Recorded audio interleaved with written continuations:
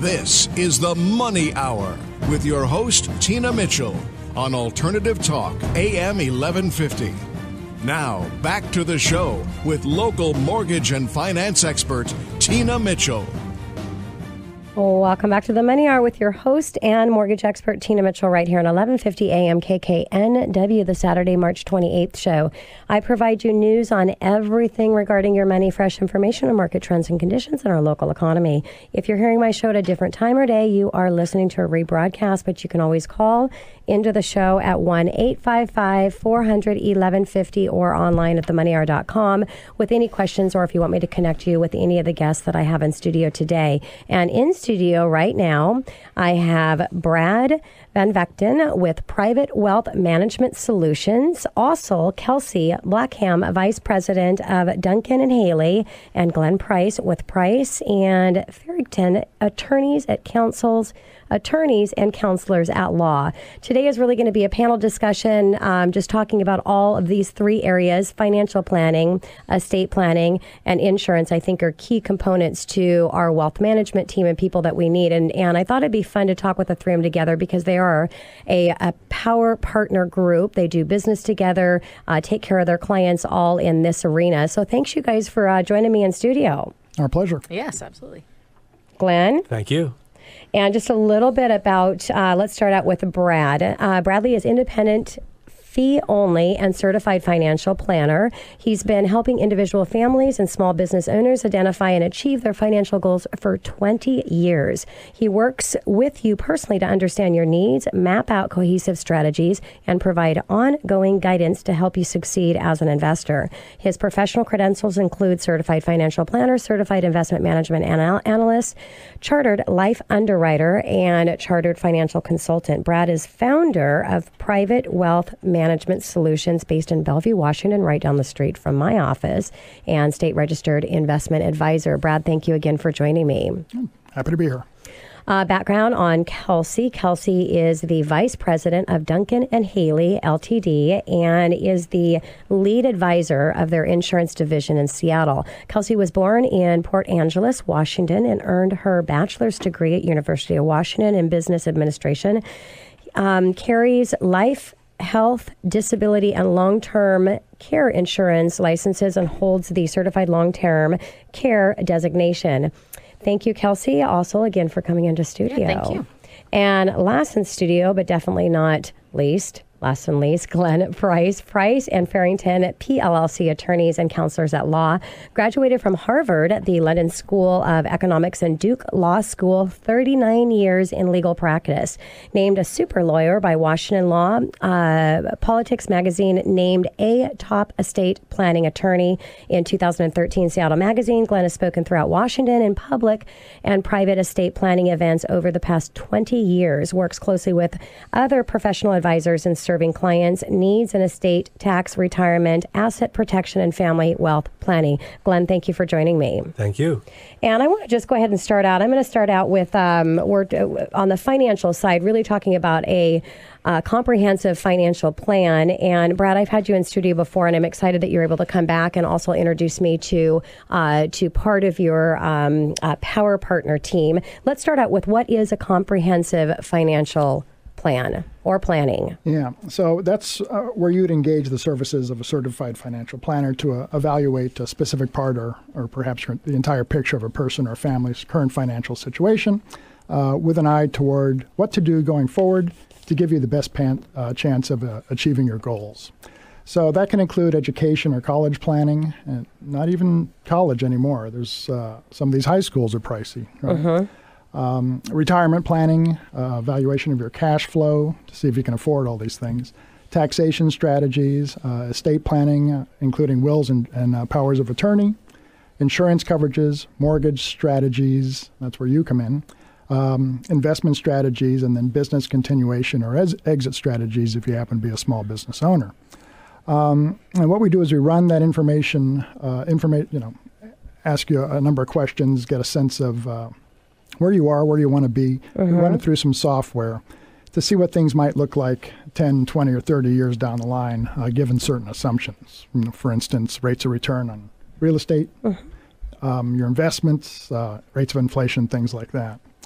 Uh, and so then I would provide you with a, a cohesive strategy or a roadmap uh, that integrates all your goals. Um, and that's when I bring in specialists uh, such as Kelsey and Glenn. So let's go ahead and, and talk. Kelsey, I, you know, um, Brad just mentioned in bringing you in uh, your expertise. It's really putting together uh, the package that you need for your uh, insurance. That's life insurance, disability, and long term insurance. Why is it important to have life insurance?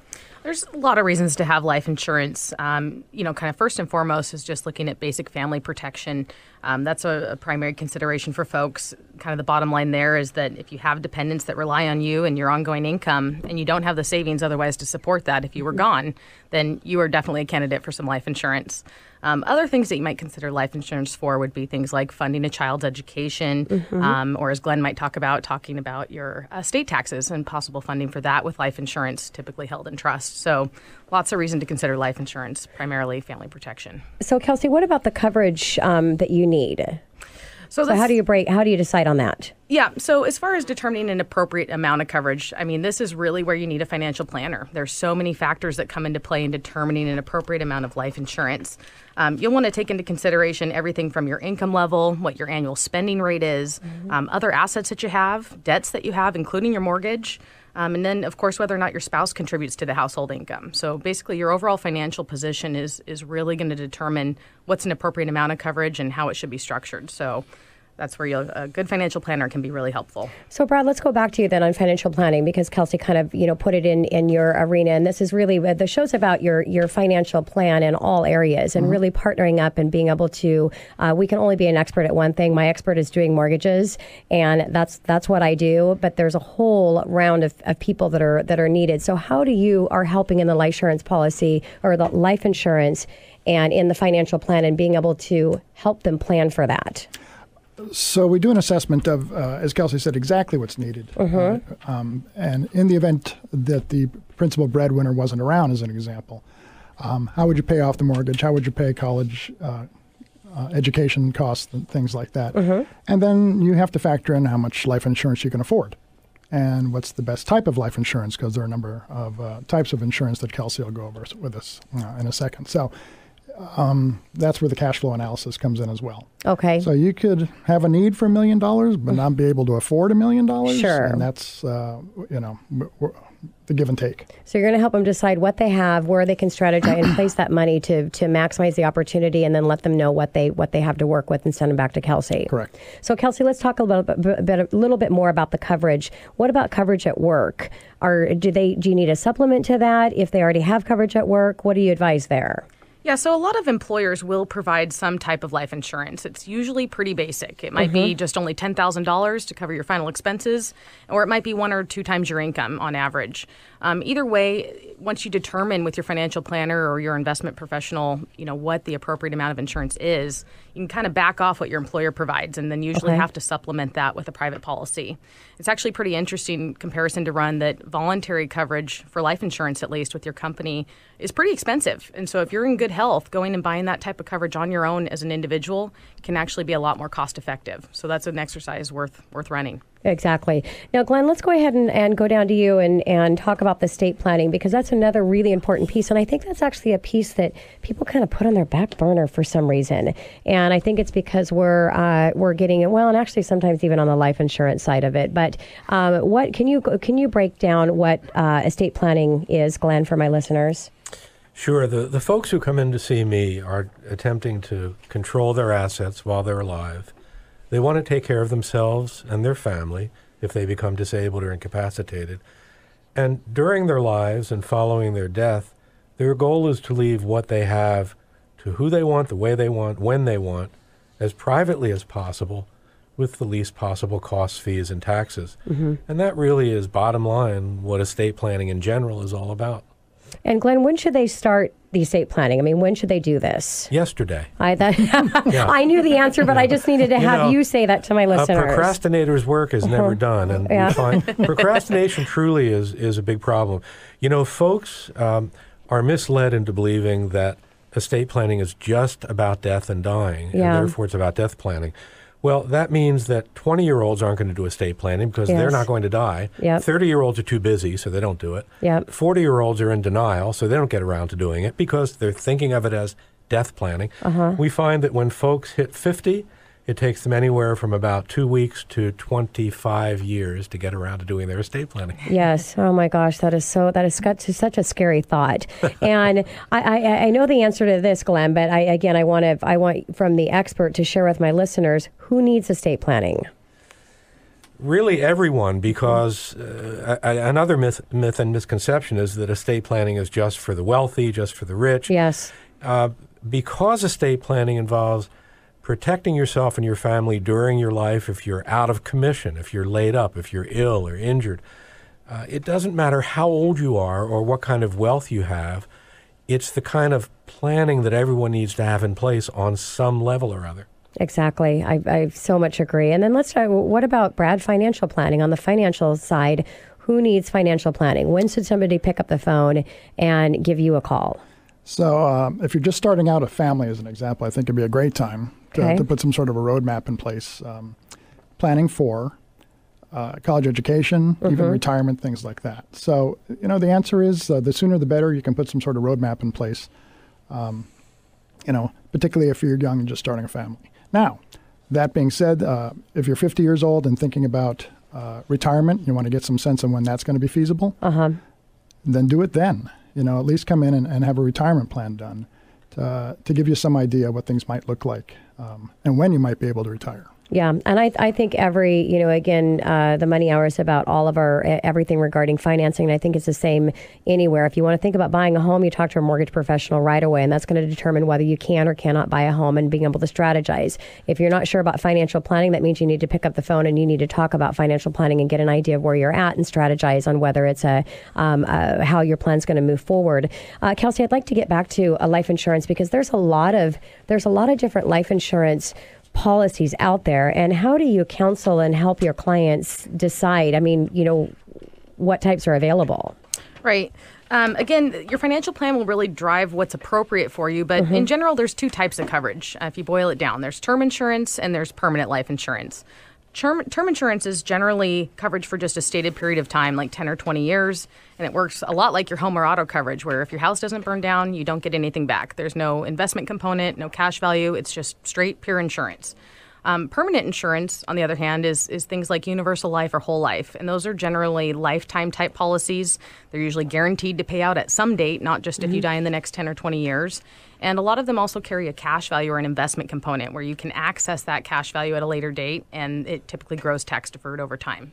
And that is a really key one in in consulting and, and finding out that fits in your financial plan when talking with brad correct Absolutely, yeah absolutely. there's some there's some really great um, and i think any product out there there is really great products for the right person so it's just understanding what those products are and where they fit into your overall uh, plan Absolutely. So don't go away. Coming up next, I'm I'm right here with the panel. It's going to be the entire show, and today's show is about your financial life, how important it is. What do you need to do? How do you prepare? And who do you need to talk with? Well, I've got them all in studio here. Brad Van Vechten with Private Wealth Management Solutions, Kelsey Blackham, Vice President of Duncan and Haley, Glenn Price with Price and Farrington, attorneys and counselors at law, right here on 1150 AM KKNW after the short break. This is the Money Hour with your host, Tina Mitchell, on Alternative Talk, AM 1150. Now, back to the show with local mortgage and finance expert, Tina Mitchell. Welcome back to the Money Hour with your host and mortgage expert Tina Mitchell right here on 1150 AM KKNW the Saturday, March 28th show. It's a great time to talk about money and that's why I'm here and the purpose of my show, how to make money, save money and build a better quality of life for you and your family. If you're hearing my show at a different time or day, you're listening to a rebroadcast to talk to with myself or any of the guests that I have in the studio, you can call the show at 1 855 400 1150. Again, that's 1 855 400 1150. Uh, today's show, or kind of a panel discussion, we're talking about your financial planning, your insurance planning, and your estate planning. Thanks, you guys, again. I've got Brad, Kelsey, and Glenn here. Thanks, you guys, for uh, sticking around for the entire show. Happy to. Thank you. So, Glenn, let's go ahead and start out the uh, beginning of this segment on the estate planning arena, talking about triggers or events that would trigger a reason why you want to start the estate planning or even uh, you know to relook at the estate planning again what are those life triggers that people need to be aware of You know, the initial life trigger is when folks become of majority age, 18 years of age and older, they really want to put together some kind of estate planning. It might vary in its uh, complexity or Mm-hmm. detail, but that's the starting point. Uh, as folks move through their lives, the kinds of things that can impact uh, their estate planning and cause them to perhaps want to revisit decisions they made earlier are marriages, divorces, births, uh, a change in health, a dramatic change in wealth, upwards or downwards. Uh, changes in the law, certainly tax wise and otherwise, can cause people to reevaluate. Changes in beneficiaries, needs, abilities, all kinds of factors. And if there is no changes, should they still be kind of looking at it on an annual basis, Glenn, or, or how do you counsel your your uh, clients there? Well, you always want to be mindful of the planning you have in Okay. place so that if some life event has occurred or your goals or circumstances have changed, you can go back and reevaluate that planning. And I'd like to ask all of you this, um, uh, starting out with uh, Brad in representing the financial um, planning arena. There's a lot of online resources, there's a lot of online tools, especially in dealing with numbers that you can use. What is the what's the downfall and disadvantage if somebody thinks they can just kind of you know do this plan for their finances all on their own? Yeah, you're exactly right, by the way. I hadn't thought about that, that all three of our disciplines you Yes. pretty much get uh, very low cost online. So um, I can only tell you this. You're doing something online, you're not getting, uh, you're not speaking with somebody that's got 20 years of experience behind them. Um, an online financial planning software doesn't know what questions to even ask. Yes. You know, aside from you know the hard facts. And, you know, and most importantly, uh, online software is not going to talk you in off the ledge in an event like 2008. you know, Yes. or, or 2000. So I think uh, that's just scratching the surface in terms of what sort of value Yep. finding a qualified, um, qualified certified financial planner to work with is going to benefit you. Makes what makes total sense, Glenn, and, and for you, I mean, in the estate planning, there's all these online things that you can go in, and and um, what would be your answer to that? Well, you can always build an airplane from a kit, but would you want to fly in it? Love it. The, the problem is off the shelf, cheap, boilerplate, fill in the blank plans are inadequate. In the end, attorneys find that it provides more business and higher fees because f- folks didn't plan proactively. So, greater cost complications and confusion down the road are going to result from uh, El Cheapo type planning. And the last thing that you want to go, well, last thing you want to do is is do El Cheapo when it comes to anything regarding your financings, because a small financial mistake can turn into a huge financial mistake, not only for you but for your loved ones as well. Uh, Kelsey, I want to go ahead and switch back over to the insurance side and uh, talk a little bit about disability insurance. Do most pro- providers, do most employers provide disability insurance for their employees? Yeah, absolutely. For those who don't know, disability insurance is basically like paycheck insurance. If you're able, Okay. ever able to not work due to an illness or injury, then that's really where disability insurance comes in and starts to replace a portion of your income. Um, a lot of employers do provide that coverage. Uh, at work, you'll find usually pretty limited benefits if there is a benefit, so worth Okay. checking your benefits book.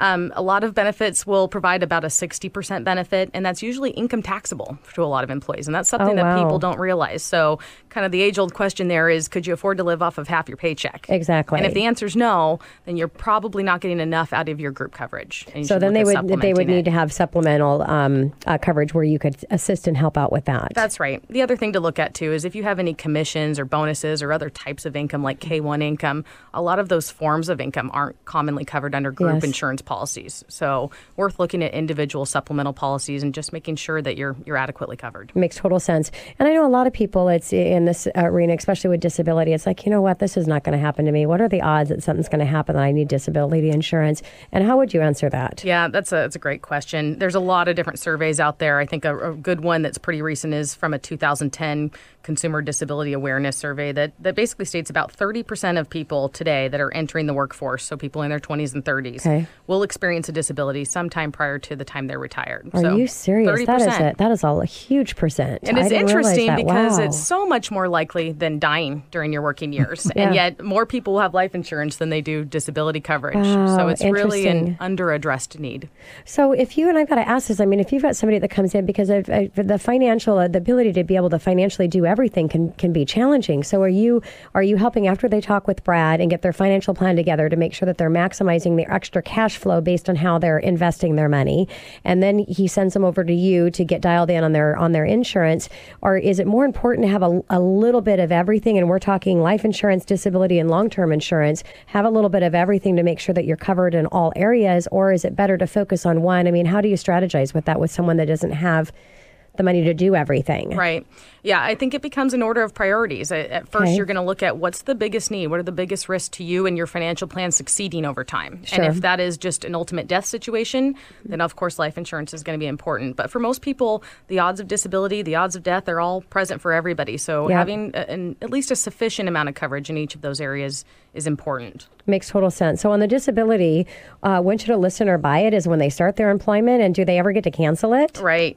Yeah. So Is this for an everything? That's a great question. Yeah. So as a general rule, you know, you want to get disability insurance around the time you start your professional career. Okay. Um, these the premiums on disability insurance are based on the age at the time you buy it. So the younger you buy, the the lower the premium in that you're locking in over your lifetime or during your working time. So the younger, the better. Uh, the other thing that's you know worth noting is that health insurance or your health status is actually a really big factor in determining what rate you pay. So Okay. you kind of joke you're never getting younger or healthier than you are today, basically. Exactly. So that's worth noting. And of course, disabilities can occur at, at any age. It's not Yes. something that you just think will happen in your 50s or 60s. You know, anybody can kind of get hit by the bus at any exactly, day. So exactly. So making sure that you have that coverage, and it's not just coverage and protecting you, but it's protecting your spouse, it's protecting your children, and so it's really important when we talk about about insurance. So, Brad, let's get back to the financial planning arena, and we already talked about the online stuff and really being able to kind of do stuff on your own, which is um, a really, really bad decision. You really need to have an expert and a local expert that you're building a long term relationship. But let's also talk about that expert and who they're choosing. Why would it be important to work with an independent, certified financial planner, Brad? Uh, great question. Um, I, I think the preference should be because a, cert, a CFP is, gives you an unbiased advice. Okay. So if you're dealing with a CFP for, for or a financial advisor, or they call themselves uh, financial planner. Um, and by the way, a lot of people are doing that these days that work for insurance companies, as an example, because uh, they're deliberately trying to confuse the public Okay. You know, and unfortunately they're succeeding. So that's why I think it, you know it's beneficial to work with a certified financial planner, particularly an independent one who doesn't have uh, any bias towards guiding you toward a, a given solution uh, that might generate a commission for that individual. So, Brad, if I have a listener that wants to take that first step to get a plan put together, or maybe they have a plan but they're not really sure and they don't have a, a, a relationship with their advisor, or they've lost connection, or they've, they've lost confidence, or whatever that case may be, what does it cost to have a financial plan done? That's a great question. Start the way- over or start? Yeah. Um, so right, you can always have somebody evaluate a plan uh, Mm-hmm. uh, that's that's currently in place, or to start over. So the answer is I I, I charge two hundred dollars an hour to do a plan. However, it doesn't have to be a comprehensive financial plan. So as an individual comes to me and just wants uh, retirement planning as an example, or education planning, that's going to take a lot less time, and as a consequence, cost a lot less. Uh huh. Um, but by the way, getting back to what Kelsey was saying, you know, uh, if you start saving for your child's college education when he's one or two years old, Yes. that's going to be a lot less of a financial hindrance than if you start that 15 years of age. Mm-hmm. Of right? course. So I think, you know, the sooner you get these sorts of roadmaps in place, the better for you and your family. Totally agree. Glenn, estate planning. There are a lot of myths out there when it comes to estate planning. Can you share some of those uh, with my listeners? there are all kinds of myths and misconceptions. Just kind of running through them quickly. Uh, a common myth: estate planning is just for the rich. Another myth: I don't need a will. Uh, another myth: uh, I don't really need to to get counseling on a will. I'll just go buy a form. That'll be adequate. Yep. My living trust will automatically avoid probate. That's a myth a lot of people have, uh, have succumbed to. They, they don't realize they've got to get the assets they own inside their trust in order for it to avoid probate. Okay. Um, another myth about living trusts is that they avoid uh, um that they're asset protection vehicles, that they protect you from creditors and lawsuits. That's not the purpose of a living trust. And finally, a very common myth is you know, I've kept things simple by naming my estate as my beneficiary. Okay. There are all kinds of adverse legal, legal consequences that can flow from that. So again, it's just important to to sit down and talk with an expert, to talk about an expert in your own personal financial situation when it comes to preparing for your financial planning, when it comes to how you're going to insure yourself and make sure your family's protected, and how you're going to make sure that you're protecting your estate and protecting your family member in case of death. Which it's not in case of death; it's when the death happens, and so make sure that you're uh, that you're protected there. And uh, Glenn, what about uh, who is the who's the estate planning for? Who benefits from the estate plan. Can you break that down? Well, hopefully the client benefits, the client's spouse benefits, mm-hmm. uh, children, other, or any dependents. Uh, certainly the client's financial well being benefits because a part of estate planning is to position assets that mm-hmm. have been uh, well insured or well invested in a way that they will provide maximum benefit to the family, the client many people benefit. Makes total sense. I think that's a good place to uh, take us to commercial, but we're going to come right back here next on the Money Hour. Comprehensive financial planning, insurance coverage related to your financial plan, and weaving in your estate plan to tie it all together. Stay tuned so that you can learn how to financially prepare right here at 1150 AM KKNW after the short break. This is the Money Hour with your host, Tina Mitchell, on Alternative Talk, AM 1150. Now, back to the show with local mortgage and finance expert Tina Mitchell.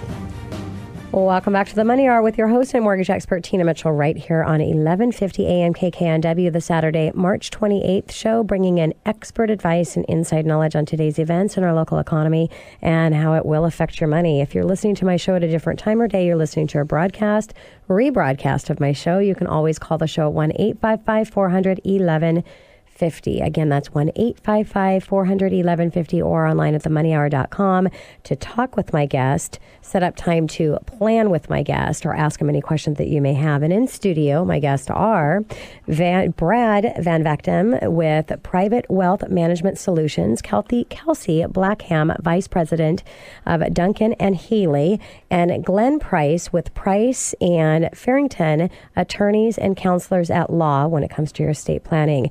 So let's go ahead and start out. We were talking with you, Glenn, before I took us to break about estate planning, and uh, estate planning people think it's about planning for death, but also it's planning for people and what they can do for you in during your life if something happens to you and you can't take care of yourself, correct? That's exactly right. The death time planning document is the will, but there are four critically important lifetime estate planning documents everyone should have okay. of every age. What are those? First is a financial power of attorney to make sure that you've authorized someone you trust to step into your shoes, pay your bills, manage your investments, make financial decisions for you during any period of time during your life you're out of commission. The healthcare power of attorney, the same idea, but now you're relying on someone close to you who you trust implicitly to make medical or healthcare decisions for you okay. if for some reason you're not able to make them for yourself. Thirdly, is the living will, also known as the advance directive to physicians, which is the legal document that addresses the issue of what are my wishes if I am on life support. And fourth is the all important privacy authorization under the HIPAA privacy laws, which limits access to your private confidential healthcare information only to those family members or other individuals close to you who you wish to have access to it. And if you you talk about the the health uh, the health care power of attorney, I mean we can we can talk to somebody that's not ex- use an example of someone's not expecting to have something happen. But what if a child's in college, and and they become in a position to where they can't take care of themselves and they don't have a power of attorney set up for their parents to make decisions for them? I mean that could be a nightmare, Glenn. Right? It is a critically important problem. In fact, my 20 year old daughter 2 mm-hmm. years ago uh, had uh, her mother and dad put uh, powers of attorney in front of her okay. and a HIPAA authorization in front of her to sign. Most parents don't understand that even though they're paying $50,000 a year tuition for their college student, yeah. if that student ends up in the infirmary and the parent calls in to get information from the doctors, nurses regarding what's going on, uh, the parents don't have a legal right mm-hmm. to that adult child, that is 18 or older, private confidential health care information without the child having signed off pretty scary scary position to be in and especially these things happen when you know when the disaster happens and you're not prepared just imagine how big of a disaster that would be when you're not prepared because it's kind of hard to go backwards in that in that chaos and what's happening during that time. Exactly. Uh, Brad, let's talk about on the financial planning side when it comes time, because a lot of times I think people are going to come see you first in preparing for their finances and what they need to be doing to put that plan together. When are you bringing in your power partners like Kelsey on the insurance side and like Glenn on the estate planning side? So it's generally after I de- uh, deliver the financial plan. Okay. Um, I ask them during the interview process uh, if they're currently working with um, a trusted advisor, like an estate planning attorney or or a CPA, Okay. mortgage broker, Yep. you know, any of those types of people. Uh, and if they uh, are currently involved with somebody that they like uh, and trust, fine, we'll use Mm-hmm. them. Um, however, if they don't, or, or they're somewhat skeptical about um, qualifications of that individual, that's when I bring in uh, experts like yourself, or Okay. Kelsey, or, or Glenn. Makes sense. And Brad, I know the benefit of having a financial plan, but I'd like you to share with my listeners the disadvantage of not having a financial plan. Now, you know, you're left to your own whims and emotions generally uh, if you don't have a plan. So, I think the best thing, frankly, about uh, having a financial plan, uh, a written comprehensive uh, financial plan in place, is that it gives you a roadmap. Number one, uh, and then yearly you go back and revisit it. Uh, are we on track? Um, have the investments performed the way w- we thought? Um, was there a catastrophic catastrophic event during the year? Yes. um, you know, any of those things are dramatically going to going to um, affect the plan. Was there a birth? Was there a death? Was there a marriage, divorce? Any of those types of things. Um, revisit the plan, modify it, you know, and then uh, move forward and revisit it again. Yes.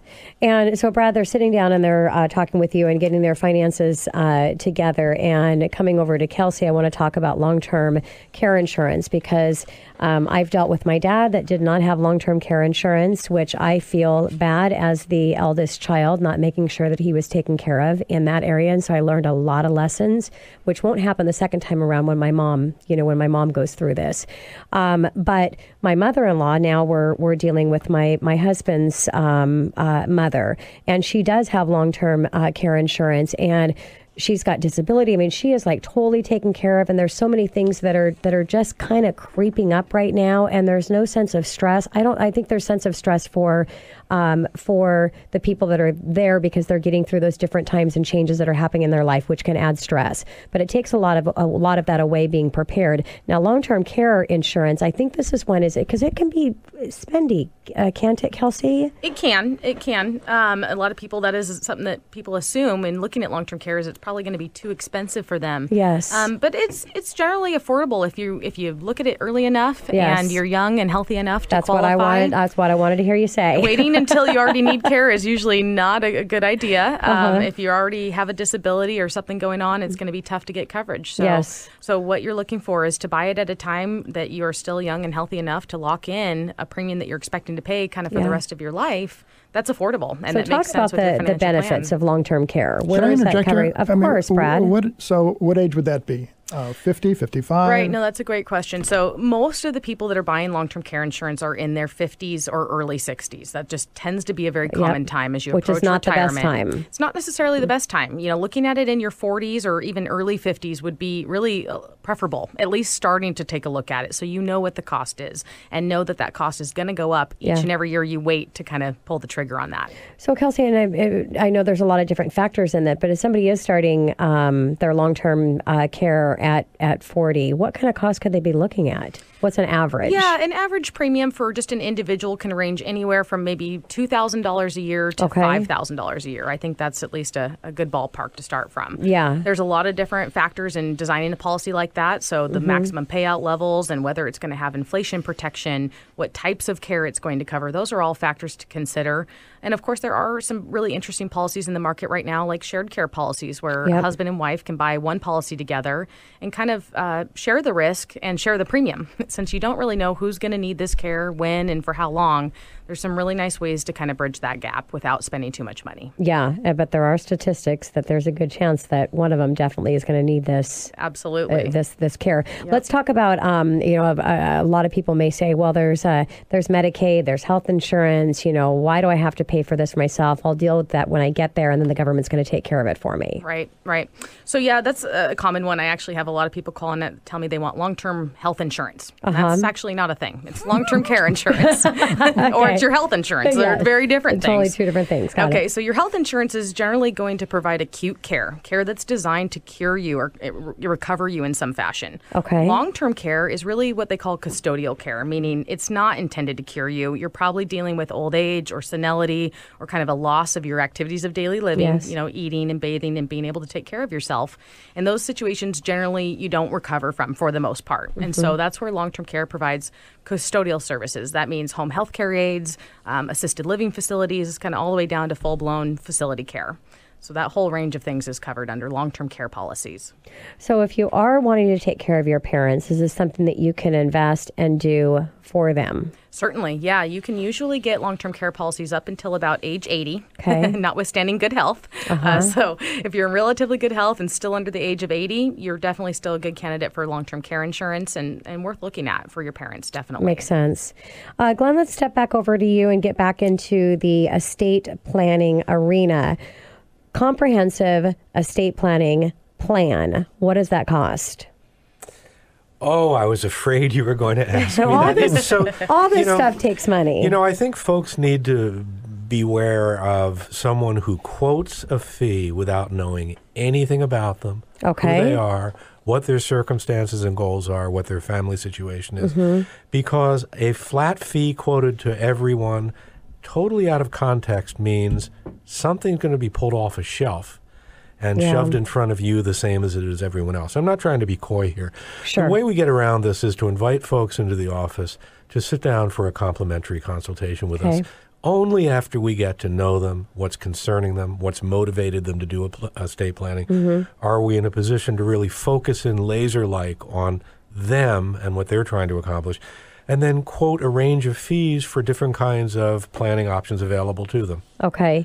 And what about the the, the time um, to get this put together? So if someone comes into your office, they sit down and have a, a free consultation to get an idea of where they're at. They're going to get their plan set up. And how long does it take to draw these documents and make sure that they're good, completed, and uh, protected? Turnaround time is typically uh, two or three, maybe four weeks at the most. Okay. Uh, I think if folks are serious about doing this kind of work and the professional advisor doesn't produce a product for months, there's a disservice being paid the, Of the client. So it's a sh- it's a relatively short turnaround. Okay. Just like closing on a mortgage, three, four weeks, you'll be in your new home. By the So, way, as an aside, uh, I, Christmas Eve, I was at someone's deathbed getting a trust signed. Uh, Wow. so, you know, So it just depends on the circumstance. Yeah. Yeah, I mean it's it, uh, not sad. At least they're getting it done before Right. you know. But um, again, it's just adding stress and and uh, everything in, in finances seems to easy to procrastinate on it, but it's a big mistake to make. Uh, Glenn, I, I want to ask you one last question here uh, on estate planning. What's the difference? What what makes a good estate planner versus an estate planner that somebody does not want to work with? What es- should be what should be looking at an estate planner and, and, and hiring them? the same thing you should be looking at in a good insurance advisor and uh, independent financial advisor.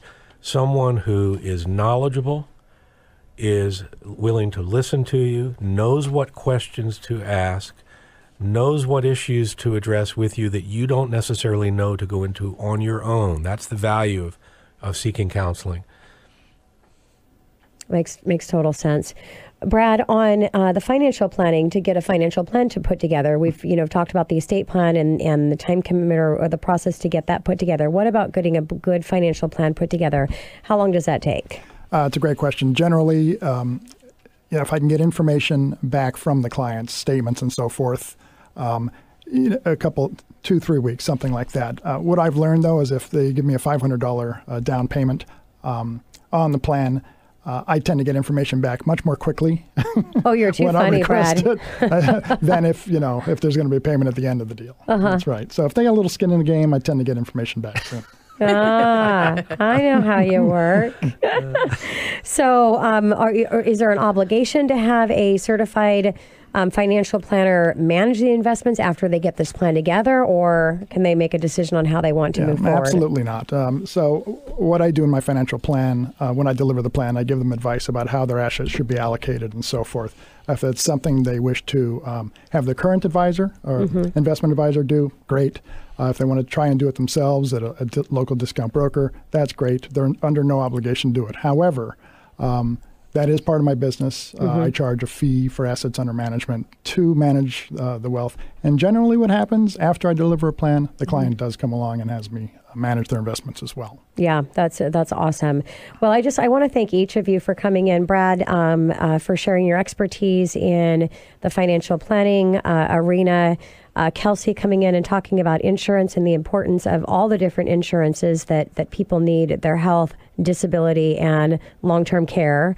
And uh, Glenn for the estate planning. It was just uh, really uh, really fun to have all of you um, talk on your uh, your passion and what you do in your industry and just helping my listeners. So thank you so much. Our Thank you. Quite Yeah. welcome. You guys going to come back? You bet. Maybe. Absolutely. and if you want to talk to any of my guests, again, pick up the phone, call into the show. The show is wrapping up, but I will directly connect, directly connect you with any of them. 1 855 400 1150. Again, that's 1 855 400 1150 or online at themoneyhour.com. And if you missed the any part of the show today, uh, look for the uh, podcast and stream of the show and you can uh, listen again. And it was just, a, again, a privilege having all of you here. And a shout out to the listeners, call to action. You need to make sure that you have all these things set up. You have to have a financial plan in place. You've got to make sure you're, you're insured and protected in all the areas that you need. And you have to have an estate plan. So it's really important. And that, again, is what the show is about, is making sure that I help you in your finances to make sure you're protecting yourself and most importantly, protecting your family. This is your host and mortgage expert, Tina Mitchell, signing off for the day. But I will be back same time, same place next Saturday. Enjoy the rest of your weekend. And I will see you or hear you or be here with you right here on 1150 AM KKNW.